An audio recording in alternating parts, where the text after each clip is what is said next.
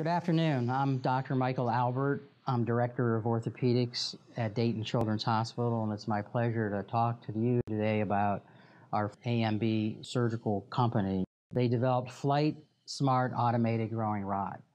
This technology, in my opinion, is going to be a game changer in the future of not only correcting spinal deformity and early onset scoliosis, but also in many other areas of pediatric deformities.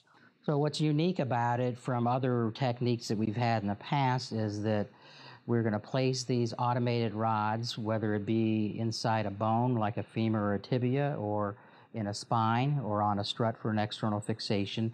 We place these rods in, and we can use our computers and our software to run the rods and lengthen and correct deformity. In spines, we're more than likely going to use two rods. They're going to be anchored proximally and distally in your spine by either hooks or screws. We do this open at the proximal and distal junctions, but we're going to slide rod submuscular or subcutaneous in the patient's spine.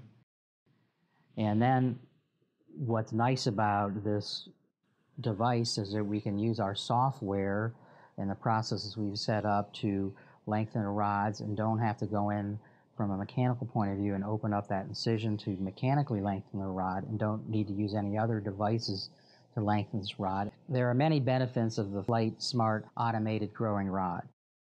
One huge benefit is doing minimally invasive surgery and not having to do frequent surgeries.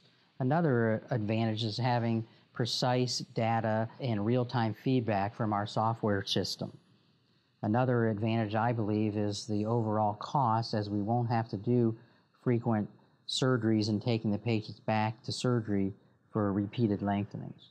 We're going to be able to do remote, very precise, and frequent lengthenings, whether it be of the spine or the lower or upper extremities. We have the ability to not only adjust and make the spine or a leg longer, but we can also back up and reverse our adjustments. We will be getting instantaneous feedback from our software system, which makes it very awesome to look in real time how much force that we're using on these rods, how much length we're doing, and frequently how many times we can lengthen these rods. So it's pretty important, I believe, to have real time feedback. If these are techniques and this technology has never been out there before, and as a surgeon, it, to me, this will be a game changer in taking care of my patients.